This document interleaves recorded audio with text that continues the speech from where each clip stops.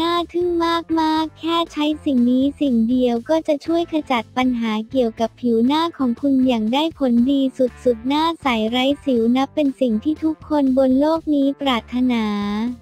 จึงทำให้ทุกคนต้องพยายามอย่างมากในการมองหาผลิตภัณฑ์ที่ใช้ดูแลรักษาผิวหน้าให้เป็นอย่างดี เราจะนำเบกกิ้งโซดาที่ราคาไม่แพงและสามารถหาได้ทั่วไปตามร้านขายของต่างๆ มาใช้ในการแก้ปัญหาเกี่ยวกับผิวของคุณได้เป็นอย่างดีหนึ่ง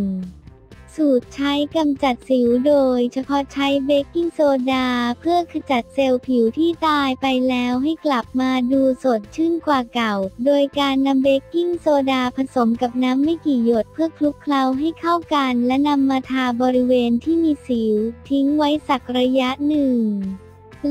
างออกทำก่อนนอนทุกคืนเพียงเท่านี้ก็จะทำให้สิวที่กวนใจคุณหายไปได้อย่างแน่นอนสองสูตรกำจัดความหมองคล้ำและถุงใต้ตา คุณสามารถกำจัดสิ่งนี้ได้โดยการนำน้ำร้อนหรือน้ำชาหนึ่งช้อนชาผสมกับเบกกิ้งโซดานำก้อนสำลีมาจุ่มและนำไปทาบไว้ที่ใต้ตาเป็นระยะเวลา 15 นาที เสร็จเรียบร้อยแล้วให้ล้างหน้าให้สะอาด แค่นี้ก็จะทำให้หน้าของคุณลดรอยหมองคล้ำไปได้อย่างแน่นอน